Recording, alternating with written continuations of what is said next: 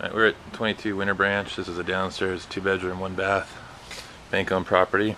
Uh, it's a Fannie Mae owned property. It was a short sale for a little while before the bank foreclosed. On entry, they have a nice dark hardwood floor. And then the kitchen has tile, tile floors, lighting. They've done some track directional lighting.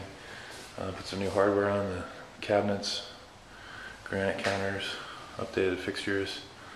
You have a gas range, refrigerator would go right there. Uh, these have pretty decent sized backyards. Looks like the HOA just put in some new vinyl uh, fences, and then your parking is behind. Closet right here.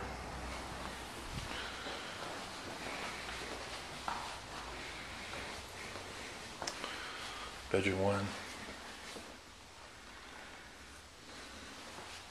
Laundry area.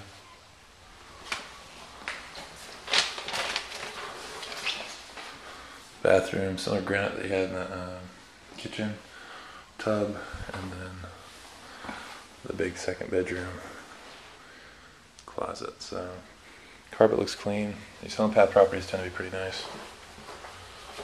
That's 22 Winter Branch.